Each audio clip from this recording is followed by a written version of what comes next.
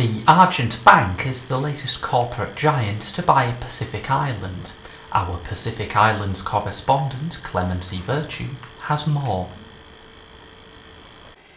This is the small uninhabited Pacific island of Tora Laua, until recently owned by the United States and now owned by Frederick Scarfinger, head of shadiness at the Argent Bank. At the top of that mountain, a brand new complex is being built by Mr. Scarfinger for a reputed $3 billion, which seems to include a large silo. Mr. Scarfinger released a statement earlier which said, Ha! You fools, soon it will all be mine. Mine, I tell you. When I asked for a clarification, he said he has bought the island for himself and his cat, Mr. Pershing, and that the silo is merely to house a supply of kitty treats. When asked if he expected the taxpayer to foot the bill, he said, No, I expect him to die. This is Clemency Virtue in Tora Laua. Back to you in the studio, Fiona.